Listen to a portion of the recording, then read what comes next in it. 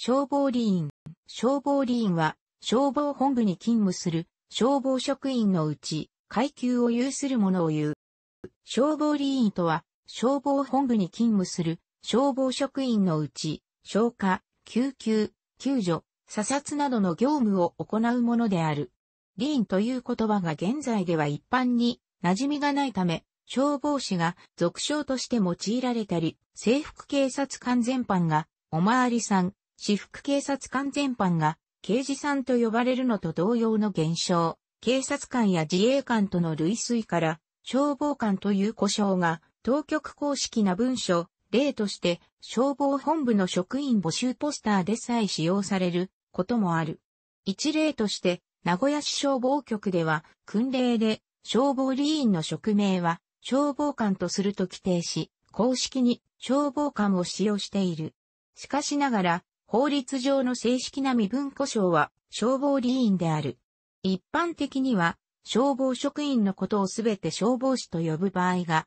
多いが、日本においては正しくは、消防本部に勤務する公務員は消防職員であり、その中で消火、救急、救助、査察などの業務を行う者が消防理員でその消防理員の一番下の階級が消防士である。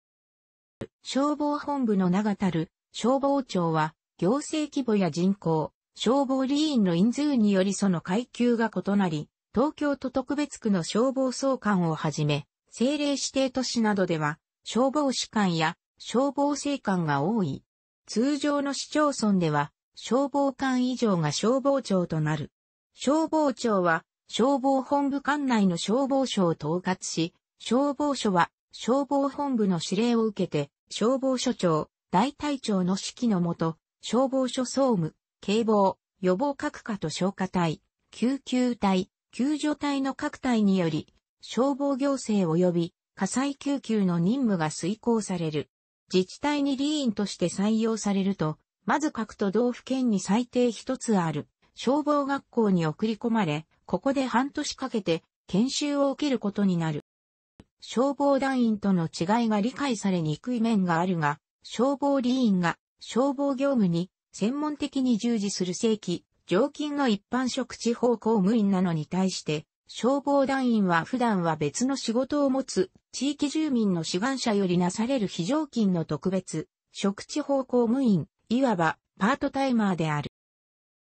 消防理員の階級は消防組織法に基づき消防庁長官が定める消防理員の階級の基準、昭和37年消防庁国時代6号。旧代名の階級準則が広く通用を参考として、市町村の規則、東京消防庁にあっては、東京都規則によって定められており、1968年の改正により、現行制度となった。この階級準則による消防理員の階級制度は、最高位の消防総監から消防士までの10階級が定められている。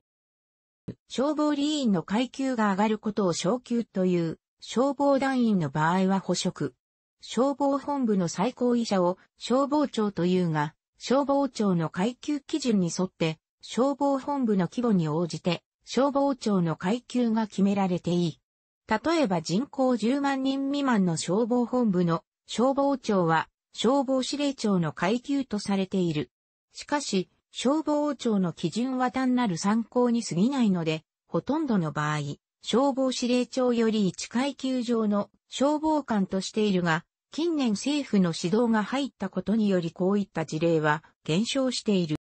消防理員はあくまで地方公務員であり、主に市町村、あるいは一部事務組合、広域連合の職員として採用されるが、東京消防庁の場合は、東京消防庁が採用を行うとの職員となる。東京消防庁は、京都庁の内部機関で特別区23区を所管し、当初部及び稲城市を除く多町区画市町村の消防事務を委託されている。警察消防時代。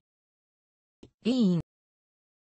1962年に現行制度へ、消防総監は東京消防庁の長、すなわち東京都特別区消防庁の職名でもあり、その職にある消防理員にのみ付与される階級である。消防組織法と旧警察法が施行される前、消防は警察の一部署であった。消防総監の職は本来、東京都の消防本部の責任者である、消防本部の長、消防庁という位置づけだが、敗戦後の占領中に GHQ から警察と消防は同格であるべきで、警視庁のトップが警視総監なのに、東京消防庁の長が消防本部長ではおかしいという指摘がなされ、消防総監という階級、職名になった。よって、消防総監は、警視総監と同様に、役職名と階級名が一致している。消防総監は通例として、全国消防庁会の会長も務める。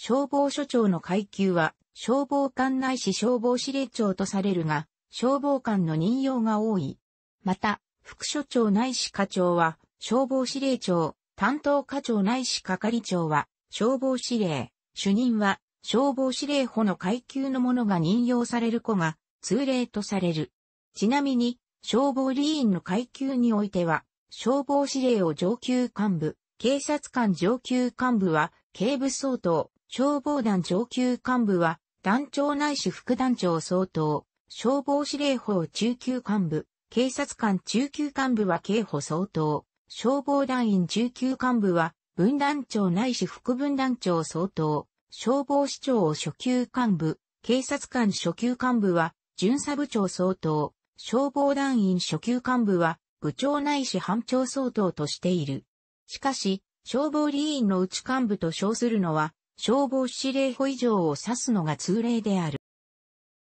常備消防の担い手である消防理員は常にローテーションで交代しながら常に緊急時に備えている。しかし、消防にかける予算、人員には限りもあり、平時は消防署と並列関係にある消防団と連携る場面もある。大震災など大きな有事の際は、消防団が消防庁、消防署長の指揮下に入るため、消防理員が地域住民により編成された消防団員を指揮して消防、救急に当たる場合もある。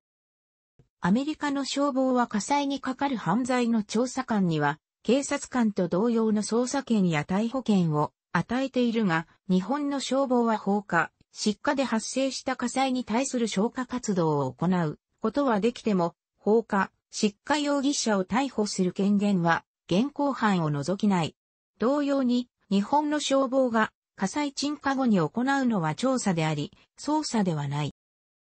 また、消火活動は完全に消防のみが担当する職務、唯一の例外は、皇宮警察であるが、救助活動については、警察の担当する領域と職務上重なり合う部分がある。消防理員に対する表彰は、主に消防庁長官表彰をはじめ、消防本部を設置する市町村による表彰、消防本部の名がたる消防庁、消防署長表彰、その他の表彰がある。以下にその代表例を記す。消防本部、消防庁、緊急消防援助隊の規定については、それぞれの項目参照のこと。関連部分抜粋、関連部分抜粋、関連部分抜粋、関連部分抜粋、楽しくご覧になりましたら、購読と良いです。クリックしてください。